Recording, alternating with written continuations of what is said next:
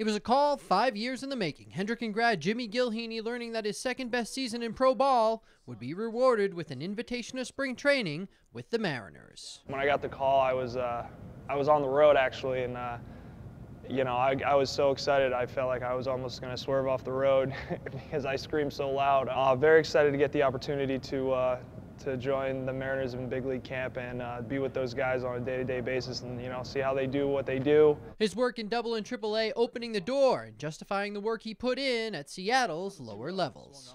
It's had its ups and downs. I mean, you know, when you're in the lower levels of base of minor league baseball, you know, you're not in the greatest towns. There are long bus rides. You're not eating the greatest food.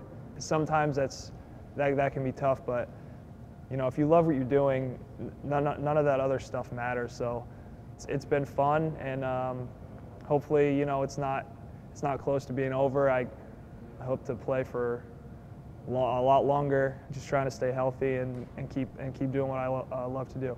The Mariners are one of the biggest buyers in baseball's free agent market. Their marquee signing, former Yankee second baseman Robinson Cano, will garner most of the attention in Seattle's camp. And there's a pretty good chance that when inter-squad play begins, Jimmy will get the opportunity to stare down the all-star slugger. I can't wait to meet him, first of all.